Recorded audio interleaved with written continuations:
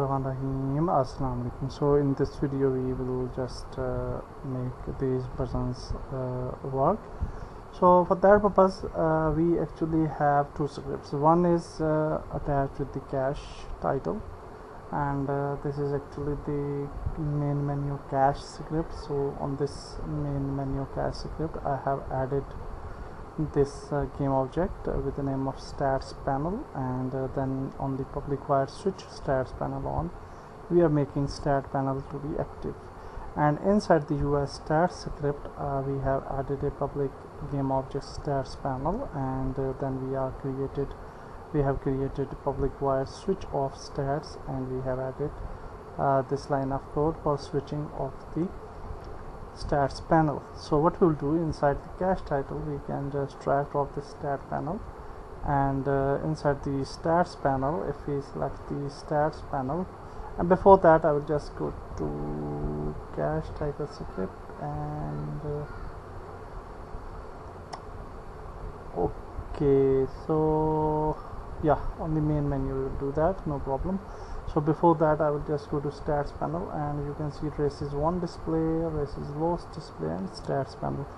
So first of all I will just add uh, races uh, games 1 and uh, game lost which we have created in the last video and stats panel. Stats panel is the panel itself. And uh, then inside this car selection. Uh, we can click on this button and we will move back. So inside on this car selection menu so let's add on click function add stats button go to function UI stats and we will select this switch off stats function so that's great so now initially we can actually hide it and now on the main menu we can select this uh, stats button. So let's select this one. And uh, we will just uh, go to the on click function. We will drag drop this cache title because it has that script. I will just go to main menu cache and we will open the switch stats panel on function so that's great if we move play the game hopefully it should work.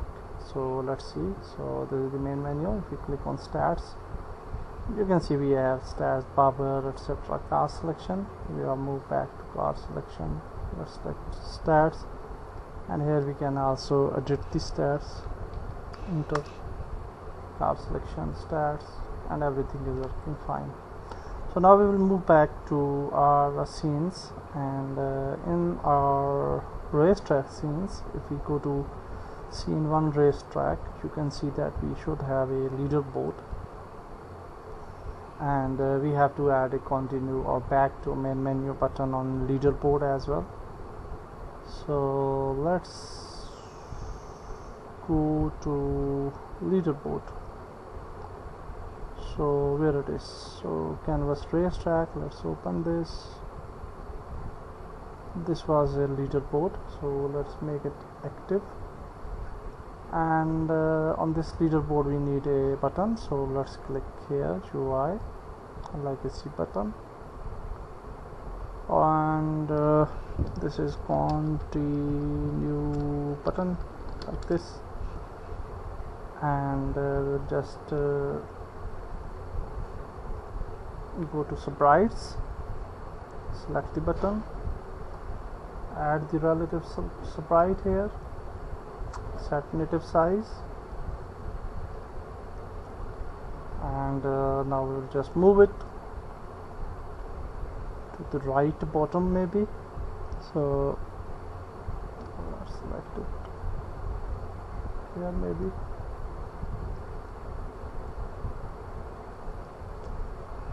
and uh, for the text we can just make it uh, I think if we make it bigger it can be destructed. So let's see what will happen. So let's make it 42 maybe. And uh, good time. Okay it is fine I think. So let's make it 32 and let's make it continue. Let's make it 28 maybe so yeah it look good. So now on the continue button we will just add this button inside the leaderboard. And now on this button uh, we will just add a function. So for the function what we will do we already have a uh, function of quit menu. So we'll use the similar function. So let's go to on click uh, plus click on plus and let's move the main canvas here. I think on main canvas we have UI script and we have quit close button. Or and we also have continue button function. Yeah this one is fine. So let's add the continue button function. So that's great. Now we will just uh, select the leaderboard. Let's make it inactive and uh, let's move to our second scene. Scene 2 racetrack let's save it open it and uh, now we will just move to racetrack. And uh, now we will just go to leaderboard again. We will just uh, repeat the process. And uh, definitely you can update the prefab as well but it can cause some problems so that's why I'm not doing that.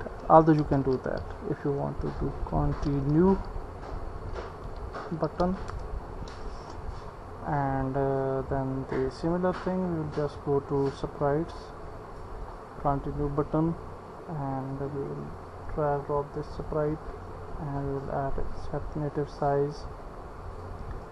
Uh, we will just move it to the right bottom. Go to the right and uh, then we'll select the text. Let's make it continue okay so let's uh, select good times. Let's make it uh, 28 maybe. And other things are fine. Yeah. So now we'll select uh, this continue button. Let's add it inside the leaderboard main panel. And now we will select the button. Let's go to click. Let's add the main UI script object go to UI script and add continue button function. And now again select the leaderboard and make it inactive. Save it. Let's go to the scenes and let's move back to main scene. That's it. That's great. In next video we'll move further. Goodbye